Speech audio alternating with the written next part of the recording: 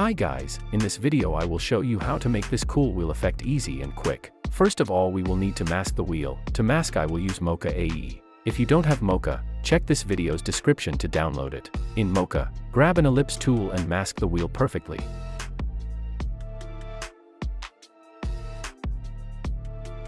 Once you are satisfied with the mask, click on Tracking button.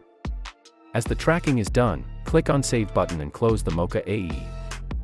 Expand matte now and click on Apply matte. Duplicate your clip now and rename it to wheel. Select bottom clip and delete Mocha AE on it. Select wheel layer now and double click on anchor point tool, make sure to move the anchor point to the center of the rim.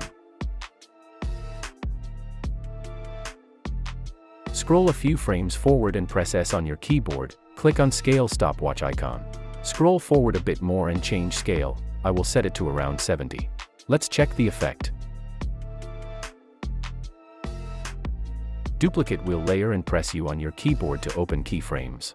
Go to second keyframe and change scale on a top layer. I will set the scale to around 50%. Let's check the effect one more time.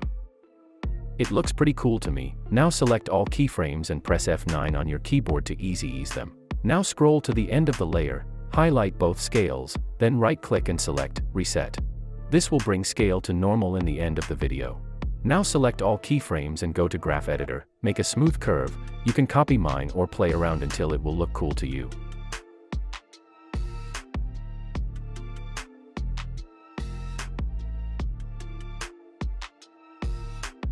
Once you are happy, enable motion blur on all wheel layers and we are done.